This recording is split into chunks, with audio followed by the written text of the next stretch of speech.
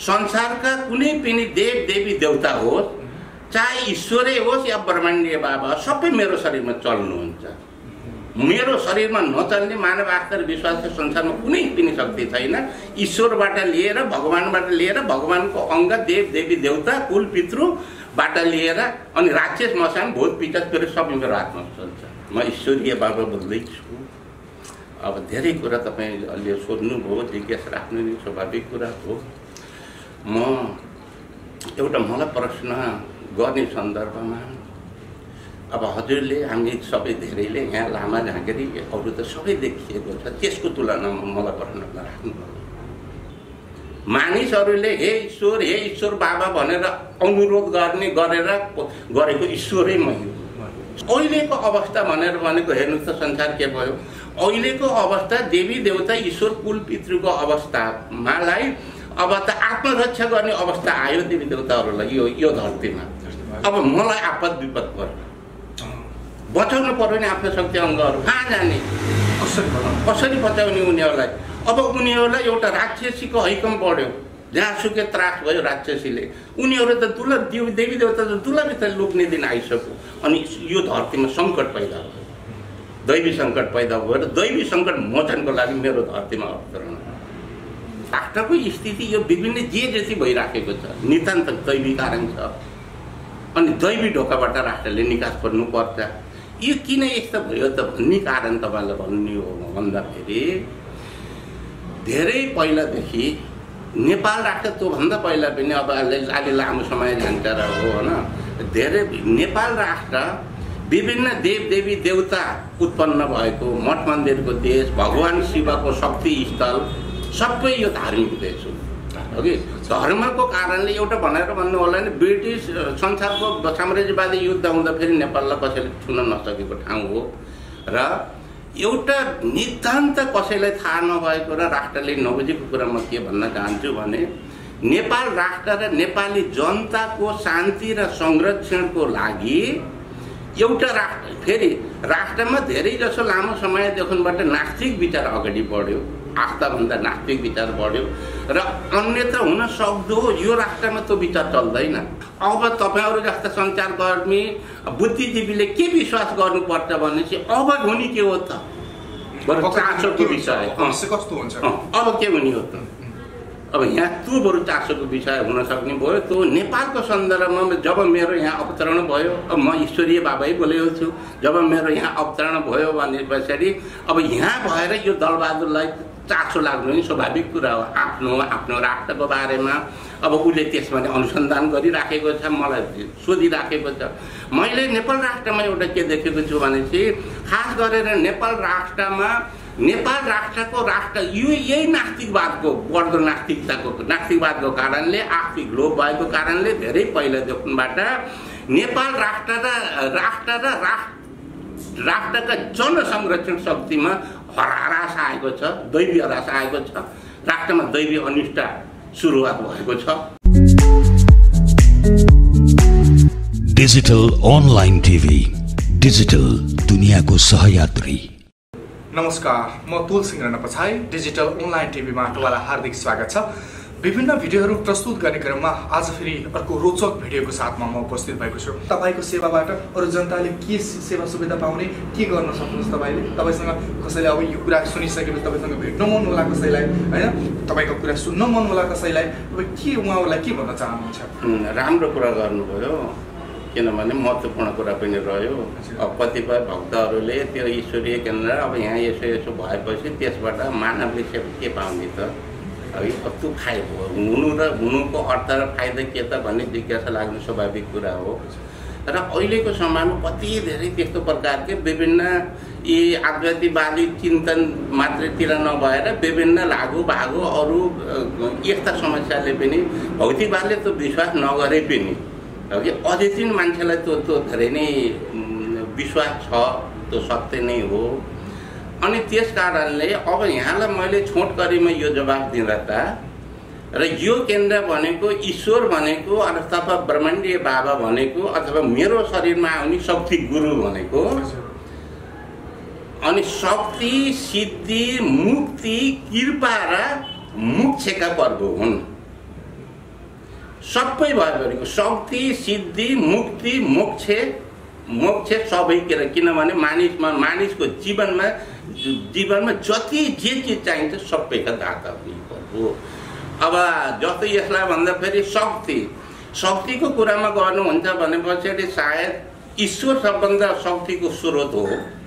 र अहिले सबभन्दा पहिले त म के भन्न चाहन्छु भने जब आजसम्म यो संसारमा यो धरतीमा ईश्वरको अवतरण भएको थिएन? अनि यो यो केन्द्रमा ईश्वरकै अवतरण भइसक्यो भने पछाडि एउटा विचित्र लाग्न सक्ला सबैलाई है? अब दोस्रो कुरो ईश्वरकै अनुकम्पा अथवा ईश्वरले नै सबै सबै शक्ति दिएका कुल पितृ देव देवी देवता भगवान् इभेन ब्रह्मा विष्णु महेश्वर अब पहिले त ईश्वरको अवतरण नहुँदाको अवस्थामा भयभरिको संसारको सबै शक्ति यो अरूलाई सन् चलायमान र सञ्चालन गर्ने भगवान् शिव भनेर आशीर्वाद दिएको अवस्था हो। अहिले त अब भनौँ त्यो कुरामा पनि ईश्वरकै संसारमा प्रकट भइसक्यो। भनेपछि भगवान्ले तपाईँहरूलाई त्यो शक्ति दिनुभएको छ। होइन। के एउटा शक्ति भगवानै छ सँग छ ईश्वरसँगै छ। शक्तिदाता ईश्वरी प्रभु हुनुहुन्छ। म त एउटा चलायमान शक्ति र अरूलाई कन्भिन्स गर्ने यथार्थ सत्य कुरा बोल्ने। अघि मानव सेवा आउँछ भने सेवार्थीलाई सेवा अनेक अनेक समस्या हुन्छन् है? अनेक अनेक समस्या हुन्छन्। कहिले कोसँग भेट्दा मलाई ठिक हुन्थ्यो कि? कसै म तपाईँसँग भेट्दा आनन्द लाग्थ्यो कि? या तपाईँ कसैसँग भेट्दा आनन्द लाग्थ्यो कि? तपाईँसँग भेट्ने के को लागि? अब मैले भने ईश्वर प्रभु शक्ति सिद्धि मुक्ति कृपा र मोक्षदाता प्रभु हुनुहुन्छ। त्यो सबै शक्ति ईश्वरसँग छ। यी सम्बन्धी जे जे कुरा चाहिन्छ ईश्वरसँग आएपछि त्यो सेवा मानवले पाउन सक्छ। तपाईँबाट। यो र अब अर्को यो ठाउँमा अर्को कुरा मैले भन्नुभन्दा अहिलेसम्म हामीले लागु भएको अरू विभिन्न कुरा कतिपय मनोकामनाका कुराहरू विभिन्न देव देवी देवताका भकाल गर्छौँ जान्छौँ अनुरोध गर्छौँ विभिन्न गर्छौँ रामा झाँक्रीसँग नै जान्छौँ।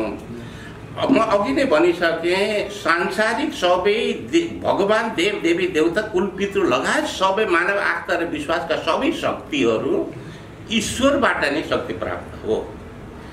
अब फेरि त्यहाँ गरेर यो कसैलाई थाहा नभएको कुरा मैले एउटा एउटा त्यो भन्न चाहेको मुख्य कुरा कि।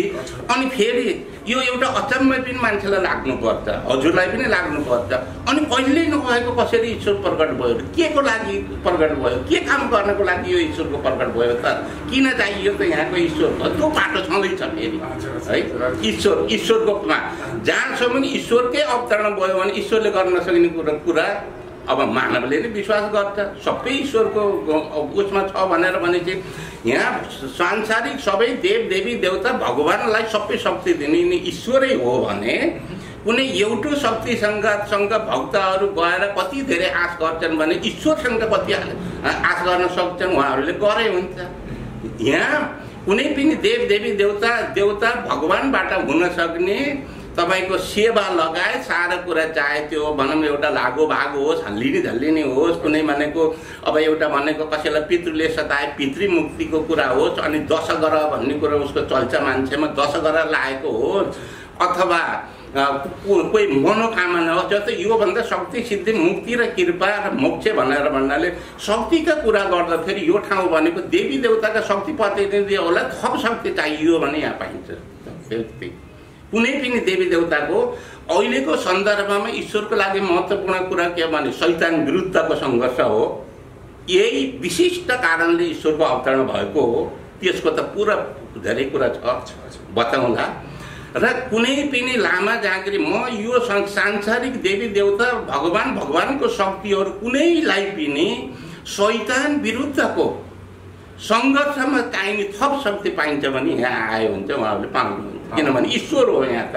सबै उहाँहरू ईश्वरको अङ्ग हो। ईश्वरको अङ्ग हो। अङ्ग तपाईँले जे ईश्वरसँग पुकार्नुहुन्छ जे त्यो मनोआकाङ्क्षा हुन्छ मलाई यस्तो भयो त्यो ईश्वर भनेर हामी ईश्वरलाई पटक पटक सम्झिने गर्छौँ होइन? त्यो ईश्वरको रूप भेट्नको लागि र त्यो इच्छा पुरा गर्नको लागि यो केन्द्रभित्र आएर तपाईँसँग भेट होला।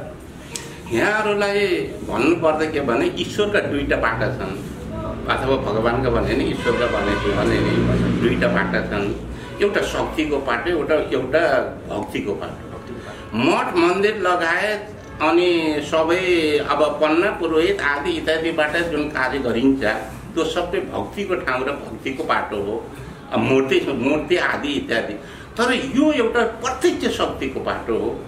अघि जुन कि तपाईँको अब अहिले हामीले हेर्दा नि मठ मन्दिरतिर सबै गर्ने र वैदिक मन्त्र विधिबाट गरिने कामहरू सबै शक्तिको कार्य हो होइन भक्ति कार्य।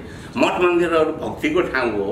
र त्यहाँ र यहाँ फरक के छ भनेपछि मठ मन्दिरमा गएर कसैलाई अनुरोध गर्ने के अरे कुनै देवता देवी देवतालाई अदृश्य। अदृश्य शक्ति र एउटा विश्वास गरिन्छ। अघि म त्यहाँ गएर यसो गरेर भनेर सम्बन्धी त्यो देवी देवतालाई पुकार गरिन्छ भक्तिभाव राखिन्छ। तर यो त प्रत्यक्ष त्योसँग भेट्ने ठाउँ हो। जस्तो यो भेट्ने कसरी भन्नु होला भने चाहिँ चाहे संसारका कुनै पनि देव देवी देवता होस् चाहे ईश्वरै होस् या ब्रह्माण्डीय बाबा सबै मेरो शरीरमा चल्नुहुन्छ। मेरो शरीरमा नचल्ने मानव आस्था र विश्वासको संसारमा कुनै पनि शक्ति छैन। ईश्वरबाट लिएर भगवान्बाट लिएर भगवान्को अङ्ग देव देवी देवता कुल पितृबाट लिएर अनि राक्षस मसान भूत पिचास फेरि सबै मेरो हातमा चल्छ। महत्त्वपूर्ण कुरा। अझै केही मैले थाहा नपाएका कुरा किनभने हामी यो कुरामा अभिज्ञ छौँ। हामीलाई थाहा छैन होइन? तपाईँको भित्री कुराहरू केही छैन। हेर्नुहोस् तपाईँ आज यो ठाउँमा आउनुभयो म ईश्वरीय बाबा बोल्दैछु अब धेरै कुरा तपाईँले सोध्नुभयो जिज्ञासा राख्नु नि स्वाभाविक कुरा हो म एउटा मलाई प्रश्न गर्ने सन्दर्भमा अब हजुरले हामी सबै धेरैले यहाँ लामा झाँकेरी अरू त सबै देखिएको छ त्यसको तुलनामा मलाई प्रश्न नराख्नु यो विशिष्ट ठाउँ हो यो अब लामा झाँक्रीको भन्ने कुरा कुरा कुरा त के भनेपछि अरे अब उहाँहरूसँग सबै छ। लामा झाँक्रीबाट हुन नसक्ने विशिष्टका कुराहरू विशिष्टता।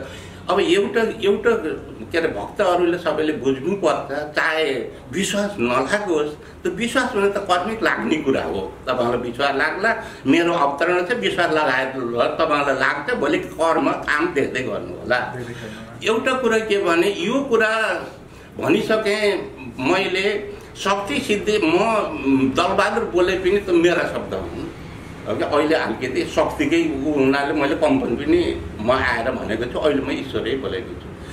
संसारमा आजसम्म यो संसारमा काहीँ धरतीमा ईश्वरको अवतरण भएको थिएन र किन भयो त ईश्वरको अवतरण? सबभन्दा पहिला लामा झाँक्रीसँग तुलना नगर्नु होला। सोध्ने त जिज्ञासा लाग्छ अब अहिलेसम्म हामीले जानेको बुझेकै कुरै त्यही हो। है देखेकै त्यही हो। अब यो कुरा तपाईँहरूलाई थाहै छैन। यो ईश्वरको अवतरण अहिले संसारमा किन भयो? किन भइराखेको छ भनेको यो के के भएछ संसारमा? के के भएछ? राष्ट्रमा के के भएछ? अनि जनताहरूले अथवा भक्तहरूले के के पुकार गरिराखेका छन्? त्यति मात्रै भक्तका कुराहरू मात्रै नभएर अहिले के अरे ईश्वरको पछिल्लो अथवा ईश्वरमय हुँ म यो दरबारको शरीरबाट बोलेँ ईश्वर म हुँ मानिसहरूले हे ईश्वर हे ईश्वर बाबा भनेर अनुरोध गर्ने गरेर गरेको ईश्वरै म शक्ति शक्तिको ईश्वर हुन्। म शक्ति चक्रसहित संसार संसारमा अवतरण भएको छु म। शक्ति चक्रसहित भनेर भनेको पछि परमात्मा परमेश्वरको मेरो रूपमा मानवमा यहाँ रहला। अहिलेको अवस्था भनेर भनेको हेर्नु त संसार के भयो? अहिलेको अवस्था देवी देवता ईश्वर कुल पितृको अवस्थामालाई अब त आत्मरक्षा गर्ने अवस्था आयो देवी देवताहरूलाई यो यो धरतीमा। है अब मानिसहरू सबै के भने नास्तिक बाटोमा मात्रै छन्। है आस्तिक बाटो बाटो समाप्त हुन थाल्यो अब सबै नास्तिक बाटोमा भए पछाडि अब ती यहाँ यो संसारमा भएका देवी देवताहरू सबै मेरा शक्ति अङ्ग हुन्। है किनभने मृत आत्मा हुन् मेरा शक्ति अङ्ग हुन्। अब मलाई आपद विपद पर्यो। बचाउनु पर्यो नि आफ्नो शक्ति अङ्गहरू। कहाँ जाने? कसरी बचाउने उनीहरूलाई? अब उनीहरूलाई एउटा राक्षसीको हैकम बढ्यो। जहाँसुकै त्रास भयो राक्षसीले। उनीहरू त दुला देवी देवी देवता त दुलाभित्र लुक्ने दिन आइसक्यो। अनि यो धरतीमा सङ्कट पैदा भयो। दैवी सङ्कट पैदा भयो र दैवी सङ्कट मोचनको लागि मेरो धरतीमा अवतरण। अब त्यो के मोचन गर्नुहुन्छ कस्तो मोचन गर्नुहुन्छ के कुरा भन्ने कुरा कुरा अब तपाईँलाई समय छ भने ती सबै कुरा म भन्छु अब सबै कुराहरूलाई अब एउटा कुरा अब एउटा तपाईँले त्यहाँ सुरु गर्नु होला जस्तो अब यिनी कुराको शक्तिका कुरा त अब जहाँ ईश्वरै छ भने चाहिँ त्यहाँ के प्राप्त होला नहोला भन्ने प्रश्न गर्ने। गर्नै परेन, किनभने- मुक्ति केन्द्र र मोक्षको पर्व हो। सबै कुराको यहाँ त्यो समित मिश्रण छ होइन? यहाँ आइसकेपछि के प्राप्त गर्न अब सकिन्छ एउटा एउटा। कुरा के म के भन्न चाहन्छु भने ब्रह्माण्डीय महाशक्ति केन्द्र भनेको कारण यहाँको प्रश्नमा अब अन्तिममा म के भन्न चाहन्छु भने कुनै पनि भक्तलाई शक्ति सिद्धि मुक्ति कृपा मोक्ष सम्बन्धी सारा सबै अब त्यसको एउटा स्रोत केन्द्र हो। आधुनिक सांसारिक दैवी शक्तिको यो गुरु केन्द्र हो किनभने ईश्वर नै सबैको गुरु हुन्। चाहे त्यो शिव शिव शक्ति आउने होस् जोसुकै शक्ति आउने होस् उहाँहरू सबैलाई एकदि अब अहिले ईश्वरले ईश्वरको अवतरण हुन धेरै कारण छन् है अब त्योतिर म अहिले गइनँ किनभने त्यसको च्याप्टरै अलगै छ। यो राष्ट्र के भएको छ राष्ट्रमा किन यस्तो बनिराखेको छ राष्ट्र अब मैले छोटो शब्दमा भन्दा भन्नुपर्दाखेरि नेपाल राष्ट्रको स्थिति यस्तो हुनुमा नितान्त दैवी कारण छ। दैवी ढोकाबाट नै राष्ट्रले निकास गर्नुपर्छ अघि मैले शिवरात्रिमा नि भनेको हो मेरो के अरे बाणीमा। अब दैवी ढोकाबाट अनि के हो त? अरूले दृष्टि मात्रै देख्छन् हामी दृष्टि मात्रै देख्दैनौँ। सरसल्लाह दिन्छौँ र त्यो निकास हामीले बताउँछौँ। तर हामीमा विश्वास गर्नु देशको कुरा गरिहाल्नुभयो। अलिकति यसलाई लम्ब्याउँ नभए यसलाई मैले अर्को पार्ट बनाएर पनि दोस्रो पार्टमा यो कुरालाई हाल्नेछु। अलि ब- यो देश अशान्तितिर मान्छेहरूले नसोचेका कामहरू गरिरहेछन् तपाईँ त पहिले एउटा टिचर पनि हुनुहुन्थ्यो भन्ने कुरा सुनेँ मैले होइन राजनीति विषयमा सामाजिक विषयमा हरेक कुरामा तपाईँले चासो दिनुहुन्छ अहिले देशमा भइराखेको यो घटनाक्रमलाई कतिको हेर्नुहुन्छ कसरी हेर्नुहुन्छ मैले मैले भन्दाखेरि अरूले भनेर भन्लान् यहाँको एउटा भविष्यवाणी गर्ने त्यो मेरा काम होइन भविष्यवाणी गर्ने हो त्यस त्यो त्यो त्योतिर होइन अब त्यो अरू सत्यहरूले भन्लान् गर्छन् मैले त यथार्थ सत्य के हो सत्य दृष्टि र एउटा ईश्वरीय सल्लाह दिने कुरा हो राष्ट्रलाई। तपाईँले यो कुरा भनिराख्दा तपाईँलाई मात्रै होइन राष्ट्रलाई सबैले यो चासोको विषयवस्तु छ। यी विभिन्न कारणले गर्दाखेरि पनि अब विभिन्न अब भक्तहरू जो आत्मान भक्तहरूको नि धेरै पहिलादेखि पुका हरेक ठाउँमा पुकार छ। अब यहाँलाई यसो भन् भन्दाखेरि त्यो अब अघि मैले भनेअनुसार राष्ट्रको स्थिति यो विभिन्न जे जति भइराखेको छ नितान्त दैवी कारण छ अनि दैवी ढोकाबाट राष्ट्रले निकास गर्नुपर्छ। यो किन यस्तो भयो त भन्ने कारण तपाईँलाई भन्ने हो भन्दाखेरि धेरै पहिलादेखि नेपाल राष्ट्र त्योभन्दा पहिला पनि अब अलि अलि लामो समय जान्छ र हो होइन? धेरै नेपाल राष्ट्र विभिन्न देवदेवी देवता उत्पन्न भएको मठ मन्दिरको देश भगवान् शिवको शक्ति स्थल सबै यो धार्मिक देश हो। हगि धर्मको कारणले एउटा भनेर भन्नु होला नि ब्रिटिस संसारको साम्राज्यवादी युद्ध हुँदाखेरि नेपाललाई कसैले छुन नसकेको ठाउँ हो। र एउटा नितान्त कसैलाई थाहा नभएको र राष्ट्रले नबुझेको कुरा म के भन्न चाहन्छु भने नेपाल राष्ट्र र नेपाली जनताको शान्ति र संरक्षणको लागि एउटा राष्ट्र फेरि राष्ट्रमा धेरै जसो लामो समयदेखिबाट नास्तिक विचार अगाडि बढ्यो आस्थाभन्दा नास्तिक विचार बढ्यो र अन्यत्र हुन सक्दो यो राष्ट्रमा त्यो विचार चल्दैन किनभने देवी देवता र भगवान्को यो शक्ति स्थल हो है आज इन्डियामा कति अगाडि भएर देवी देवता भने ती सबै यहाँ पैदा भएका हुन्। अघि यहाँको यहाँको दैवी र उसको इतिहास इन्डियामा गएर अहिले चलाइराखेका छ भने कुनै केही मतलब भएन। अब तपाईँले ती कुरामा त धेरै कुरा थियो। राज दरबार किन समाप्त भयो त? अनि अनि पहिलेदेखि राजनीति किन यस्तो भइराखेको छ? चोर चण्डाल हत्या हिंसा बलात्कार किन बढिराखेको छ? यो किनभने चाहिँ यो डिट्रोइड अवस्था हो। र मुख्य रूपबाट भन्दाखेरि धेरै जसो मानिसहरू राष्ट्रमा सबै कर्मिक रूपबाट नास्तिक भयो नास्तिक बाटोमा धेरै गयो। अब मैले भने अहिलेको अवस्थामा सैद्धान्तिक र राजस्व अत्यधिक बढ्यो। अब देवी देवता र भगवान्लाई त लुक्ने र आत्मा के अरे आत्मा संरक्षणको समस्या पर्यो। हजुर त्यस्तोसम्म अवश्य भइसक्यो भने के यो राष्ट्रमा होला गतिलो होला? अब यो राष्ट्रमा यस्तो विभिन्न कारण हुनुको एउटा दैवी अनिष्ट छ। अब त्यो दैवी अनिष्टको त्यसको पनि उपाय छ। हामी भन्छौँ उपाय। अघि तर हाम्रो कुरालाई विश्वास मान्नु पर्यो। सुन्नु पर्यो। सुन्न पर्यो विश्वास मान्न पर्यो। यदि यस्तै हुने हो विश्वास चाहिँ नमान्ने हो देवी देवतालाई नमानेर एउटा ईश्वरै प्रकट हुँदा म छाती खोलेर आफ्नो केन्द्रमा बसेर म ईश्वर नै प्रकट हुँ ईश्वर हुँ तिमीहरूले यसो यसो गर भनेर त्यो कुरा नि मान्दैनन् भने डिट्रोइट होस् सबै। सबै मरुन् सबै पल्टुन् सबै त्यहाँ होस् राष्ट्र खत्तम होस् हाम्रो के मतलब भयो र। हो कि नै? तर एउटा कुरा के भनेपछि दर्शकले जनताले हजुरहरू सञ्चारकर्मी र राष्ट्रका चाहे सरकार हो चाहे उपिल्लो वडाका जोसुकै व्यक्तिहरूले अब तपाईँहरूसँग ईश्वरको अवतरण अवतरण जब छ भने चाहिँ के हिजो आजसम्म ईश्वरको अवतरण यहाँ भएको थियो यो संसारमा? यो धरतीमा ईश्वरको अवतरण भएको थियो? यो संसारमा पहिलोपल्टको धरतीमा पहिलोपल्टको यहाँ चाहिँ ईश्वरको अवतरण भएको। अनि विशिष्ट कामको लागि ईश्वरको अवतरण भएको छ यहाँ। है? अनि यी यदि यो देशका जनताहरूले ईश्वरले भनेको मान्छन् किनभने जनकल्याणको लागि नै हामी हाम्रो यहाँ ऊ हो अवतरण हो।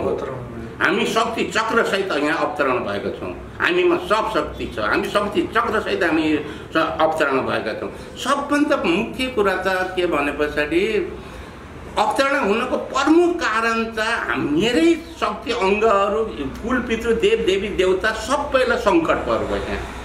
अनि सङ्कटको संरक्षण कसले गर्ने? अनि शिवले सक्छन् यहाँ ब्रह्म विष्णु महेश्वरले सक्छन्। अनि त्यो हो ईश्वर? सबै ईश्वरको अङ्ग हुन् ईश्वरले शक्ति दिने हो। अनि सबै संरक्षण ईश्वरले गर्ने भएको हुनाले। अब ईश्वर कहाँ हो कहाँ बसेर भएन? उनलाई प्रत्यक्ष शक्ति दिन पर्यो। अब उनीहरूले गार्न थाले ईश्वरलाई। अब उनीहरू कुन कुन तुलना बस्ने? राक्षसको अगाडि अब अब ईश्वर के अरे दैवी शक्ति पनि अब कुनाभित्र लुक्ने अवस्था आयो। यहाँसम्म कि उनीहरूको शक्तिलाई नै अपहरण गर्न लागिसक्यो राक्षस सैतानीले सैतानिक यति बढ्यो यति बढ्यो कि मानवमा पनि सैतानिक चढ्यो। है? अब जस्तो मानव मानव एक प्रकारले र ईश्वरले त्यो जिम्मेवारी हिजो देवी देवता देवतालाई दिएको अवस्था थियो।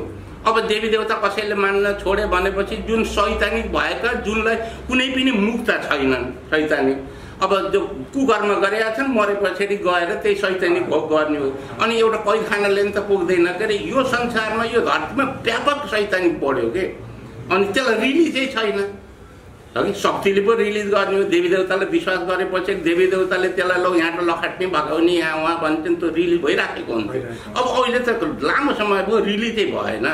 पुनर्जन्म पनि जान पाएन मान्छेहरू। है? भने पछाडि आपद विपद पर्यो। देवी देवतालाई आपद विपद पर्यो। देवी देवतालाई आत्मरक्षा गर्न पर्यो। हिजो तपाईँको देवी देवतालाई कुनैले लहर मठ मन्दिरमा गएर मन्दिर बनाएर त्यहाँ मूर्ति राखेर सबै पूजा गरे भक्तिभाव भने आज त्यहीँ टट्टी पिसाब गर्दै रहेछन् त्यो देवता कहाँ जाने? कसलाई पुकार गर्ने त्यसलाई? त्यसको कुरा कसले सुन्दैन? अनि भनेर भने पछाडि त्यो ईश्वरले त्यसको चासो एउटा खाँचो खाँचो भयो। त्यसको संरक्षण गर्ने। त्यसलाई संरक्षण गर्न पर्यो। अनि दैवी शक्तिको यो संसारमा अनि अनि संरचनाको पुनः सुधार गर्न आवश्यकता रह्यो। कि? अब दैवी शक्तिको तर दैवी शक्ति भनेर मठ मन्दिरतिरको यो सँग होइन। सद के अरे विशिष्ट ईश्वरबाट लिएर हाम्रो मृत पितृ आत्मा मन्दिरतिरको कुरा यहाँ सरोकार छैन। यो अलग्गै दर्शन दर्शनै अलग्गै बाटो भन्ने हुन्छ यसलाई। र फेरि एउटा कुरा यो दर्शन भनेको कसैले पनि बाहिर आउन पनि सकेन। अनि भनेपछि कसैले त्यहाँ बाहिर पनि ल्याएन।